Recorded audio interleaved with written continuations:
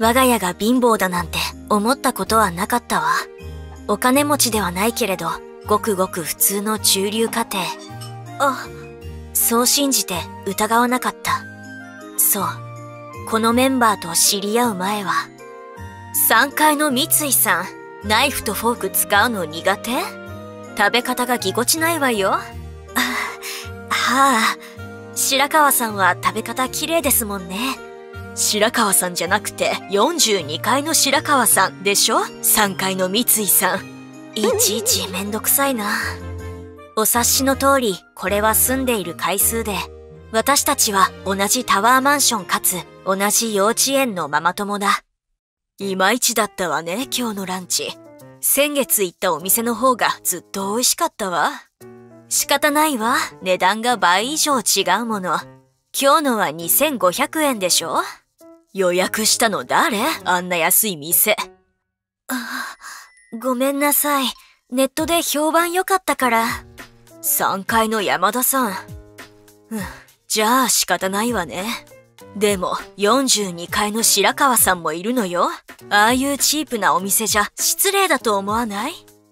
安いお店は同じ3階の三井さんと2人だけで行ったらいいのよ。確かにね。そういう小田切さんは35回。言い返せない。同じタワマンのママ友4人グループ。高層階の白川さんと小田切さん。低層階の山田さんと私。パワーバランスは住んでる回数で決まってしまう。彼女たちに逆らうことなどできやしない。なんだよ。またもやし炒めかよ。仕方ないでしょお金がないんだから。ママ友と遊ぶ金はあるくせに。行きたくて行ってるんじゃないわ私がどんなに肩身の狭い思いしてるか分かってる？断ればいいじゃないか。できないわよ下の者が上の誘いを断るなんて。下の者って？住んでる回数もそうだけど、ママ友の中ではダントツに年も下だしね、私。なんか、面倒くさそうな世界だな。うん。だから俺はタワマンなんか買うの反対したんだ。そうなのだ。主人の反対を押し切ってここを買おうと強引に決めたのはこの私。タワマンに住むのは子供の頃からの憧れだった。母子家庭で風呂なしのボロアパートで育てられた私の夢。底辺からの脱却。一発逆転するにはお金のある男と結婚するしかない。当時の私の何よりの武器は若さだけ。高校を卒業後、就職と同時にすぐに婚活を始め、夫と知り合い20歳で結婚。大手企業に勤め、貯金額も2000万。私より19も上だけど、全然気にならなかったわ。何より若い男はお金持ってないだろうし、ね。けれど、タワマン購入で貯金はゼロ。永遠続く住宅ローン。夫程度の男で妥協したのを、今更ながらちょっと後悔。せめて20階以上に住みたかったな都心のタワマンがここまで高いなんて知らなかったもん。でも高層階は子育てに向かないって何かで読んだことあるわ。そうなの？それに、なんたって地震の時、エレベーターが止まったって私たちなら困らないけど、白川さんや小田切さんは、そっか、大変だ。特にあの二人、もう年だもんね。え？厚化粧でごまかしてるけど、40は言ってるよね。大戸島じゃん？おばさんには階段きつそう大戸島のおばさんで悪かったわね。あ？げ、小田切さんあ？言っときますが、まだ38よ。本人がいないと思って平気で悪口言うんだ。私は言ってないわ山田さん？っていうか、だって小田切さん、私より若いですもの。私、今年41です。え ?41? 私より3つも上？白川さんよりも1つ上よ？でしょうね。なんとなく感じてました。私が最年長かなって。嘘山田さんってせいぜい32から33歳くらいかと。あの二人もう年だもんね。大戸島のおばさん。やだ。知ってたら絶対言わないわよ。これじゃ私だけ悪者じゃない。やばい、どうしよう。小田切さんにも白川さんにも睨まれる。っていうか、山田さんもムッとしてたみたいだけど、そのせいか嫌な感じだったわ。とっとと小田切さんに寝返ってごますって。うん。あ、まただ。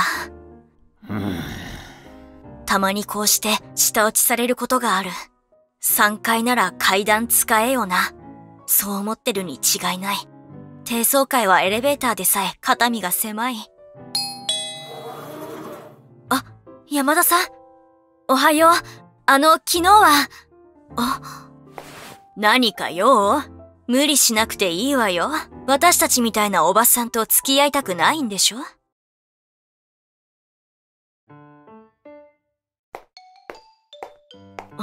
三井さん。お帰りなさい。待って、話があるの。聞いてたでしょ？あなたと喋るなって言われてるの。こんなとこ見られたら。あ？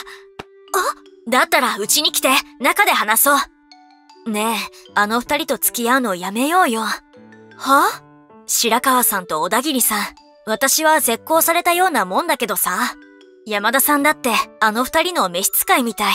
無理してるんでしょ高層のお金持ちとは縁切って、私たち低層階同士仲良くしよう。うちの春菜だって、オタクのまゆかちゃんと一番仲いいし。オタクに上がったの初めてね。あ、うち狭いからお客さんあまり呼べなくて。そのことでさっきからものすごく気になっていたんだけど。この家、廊下ないよね。部屋ってあそこだけ？ん？え？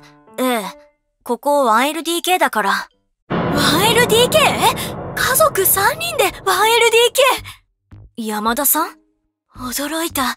うちでさえ 3LDK よ、悪いけど。なのに、低層階だからって同じくくりにされて、なんだか不愉快だわ。3LDK と 1LDK じゃ値段だって全然違うじゃない。それに三井さんって、白川さんや小田切さんには敬語だけど、私にはタメ口だよね。実はそれ、最初からずーっと気になってたんだよね。山田さん？一回り以上下だよね。しかもその上、1LDK のくせに。私と同じ立場だとでも思ってた？バカにしないでよなんで？そんなに怒ること？確かに年が離れてるのにタメ口なのは悪かったかもしれないけど、それは彼女だけは友達だと思っていたからで、いや、それよりむしろ 1LDK にブチギレてたよね。同じくくりにされて不愉快だわ。私と同じ立場だとでも思ってた？あれじゃ、白川さんたちと変わらないじゃない。彼女だけはそんな人じゃないと思ってたのに。そりゃ、山田さんが怒るの無理ないわ。1LDK のくせに大きい顔されちゃね。タワマンなのに3階で、ファミリーなのに 1LDK。ギャグみたいね。ウケるんだけど。そこまでしてタワマンに住みたいのかしら？変なの。あんな人と少しの間でも親しくしていた自分が恥ずかしいわ。なんでそんなに見下すの？所詮私たちとは住む世界が違うのよ。みんな同じ専業主婦じゃない。旦那が偉いだけじゃない。夫は大手に勤めてはいるものの、特別に給料がいいわけではない。それどころか収入は業績悪化とやらで年々下がりつつある。おいなんだよこの請求書カードでまた服買ったのか？ああ、先月ね。しかも全部で12万？ふざけんなよ同じ服ばっか着回してて、ママたちに嫌味言われたの。ランチだっていつもホテルだったのよ。よそ行きじゃなきゃ。そんな金がどこにあるんだ？貯金もないのにそうよ。お金がないからリボ払いよ。あんたの稼ぎが悪いから私がバカにされるのよ。私はここでは最下層よ。何が最下層だ？だから俺はこんなタワマン反対したんだ郊外のもっと安くて広い部屋を探そうって何度も言ったのにお前が無理やり最後は泣き落としまでしてだって、あの時は思ってなかったもの。あんたがこんなに情けない男だったなんて。ママ友カーストはイコール旦那のカーストだからね。そこんとこ分かってる？最下層すぎて、私と春菜は仲間外れにされたわ。だからもうカードは使わない。安心して。仲間外れ？どういうことだ？それって春菜もか？リーダーは42階の白川さんだったよな。ちょっと話に行ってくる。あやめて！これ以上話をこじらせないで！そんな暇があったらバイトでも何でもして稼いできてよ！ここではお金のない人間は徹底的に馬鹿にされるのよ！お願いだからもっと稼いでよ！まゆみ私の取り乱しように恐れをなしたのか？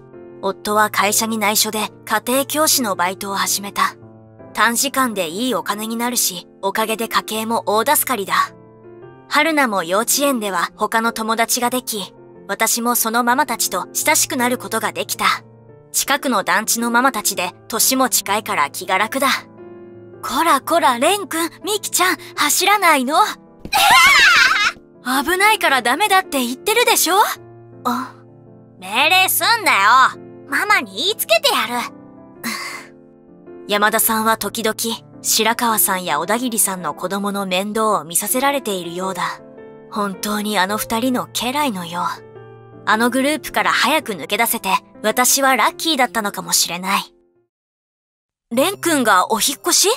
レン君ってあの小田切さんとこの？うん、もういないよ。あの子意地悪だったからいなくなってよかった。小田切さんが引っ越し、嬉しいけど変なの。まだあのタワマンできて1年ほどしか経ってないのに。え？離婚したの？小田切さん。浮気がご主人にバレたそうよ。身一つで追い出されたって。レン君はご主人の実家で育てるらしいわ。なんでそんなことを知ってるの？だって私、小田切さんのご主人といとこだもん。は？ああの奥さんには口止めされてたけどね。私みたいな団地の人間が親戚だと恥ずかしいんだって。何様よね。ざまみろだわ。本当にざまみろだ。いい君。ん あ？何？山田さんのあの朝。それが山田さん、小田切さんの浮気に協力してたって。アリバイ作りや浮気の間の子守、いとこカンカンよ。山田さん家にも乗り込んで慰謝料請求したって。げ揉めてるんじゃないの？山田さんとこも。あれ夫婦喧嘩でできた朝ね。ええー、ばっかみたい。いつまでも金持ちの腰巾着やってるから、そんなことになるのよ。ねえ。